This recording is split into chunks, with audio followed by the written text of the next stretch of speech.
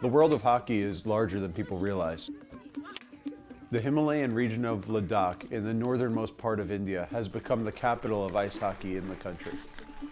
Since 2009, myself and my team of volunteers from the Hockey Foundation have coached nearly 3,000 players and donated nearly 7,000 pieces of equipment in Ladakh and around India. The Hockey Foundation is excited to share our plans to hold the highest altitude hockey game on earth in early 2018. This event would be certified by the Guinness World Record Organization and will draw incredible attention to not only ice hockey in India, but the efforts of the Hockey Foundation to change lives via hockey around the world. The Guinness game was the idea of Antoine. Antoine uh, came up with this idea when we looked into it and we didn't see anybody having a record and when we looked at the requirements for the Guinness game, you know, having a full International Ice Hockey Federation type rink here in Leh, uh, we started thinking, gosh, if we could get that Guinness game here, we could leave a big legacy by leaving the boards and the, you know, all the infrastructure that goes along with that. Some of the costs for this event include staffing, uh, which is part of the Hockey Foundation staff to make sure this event goes smoothly. We also have a lot of materials to purchase and to ship.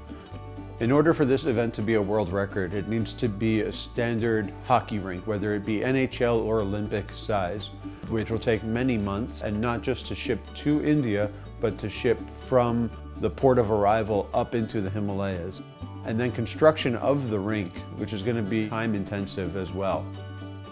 You could uh, bring awareness, you bring worldwide television, you know, you could just expand the whole knowledge of what goes on here and, and use that to, to uh, further the many programs here in the region. So we've got a lot of work to do this next year uh, to bring all the infrastructure up here, but we've had good meetings with all the local groups. Uh, everybody's supportive, the government's supportive.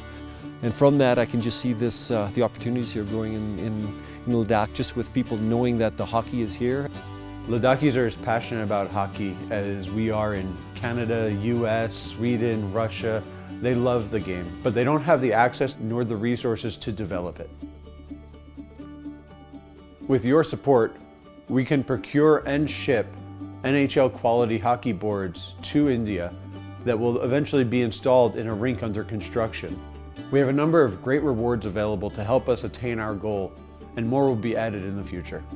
More information about the Hockey Foundation is available on our website, hockeyfoundation.org, on our Facebook page, and on our Twitter at HockeyFNDTN.